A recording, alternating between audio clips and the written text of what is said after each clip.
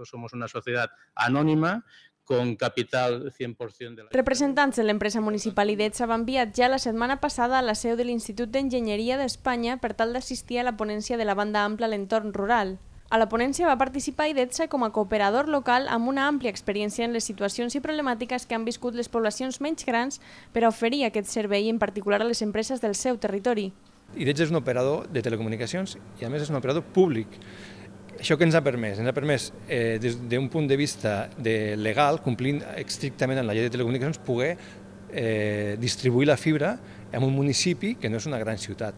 Eh, normalment els operadors grans comencen per les grans ciutats perquè és on tenen més negoci. Llavors, eh, els pobles més petits tarden molt en arribar si és que arriben. En aquesta situació, les solucions innovadores que permetin desenvolupar xarxes de fibra de manera exitosa a poblacions petites suposen un exemple molt interessant per a altres poblacions semblants. Per això va ser convidada a IDETSA i per això el Joan Ramon Benages ha fet una presentació explicant el nostre model i la nostra aportació al desenvolupament econòmic. No hem d'oblidar que la, la, la intenció de la, de la xarxa de fibra òptica és, sobretot, eh, eh, atreure empreses a, a, a, als polígons i, a, i al, i al municipi.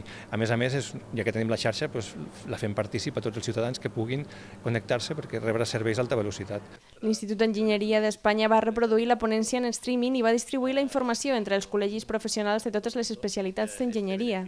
Dentro del entorno del instituto siempre es importante que, que las empresas colaboren con nosotros a difundir Eh, para nosotros es importante que las empresas colaboren con nosotros para ayudarnos a difundir esa eh, tecnología que la gente desconoce y que agradecemos muchísimo a IDETSA que haya venido a compartir con nosotros esa experiencia que están pionera que están teniendo actualmente.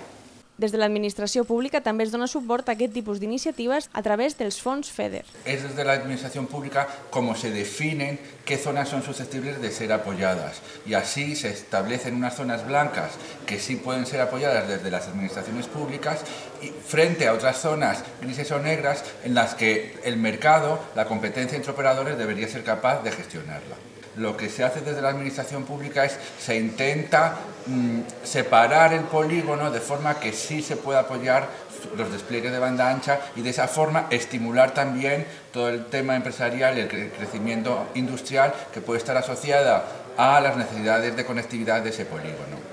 L'empresa municipal IDETSA va començar a oferir el servei de fibra òptica al municipi de Vandellós l'Hospitalet de l'Infant al juny de 2014.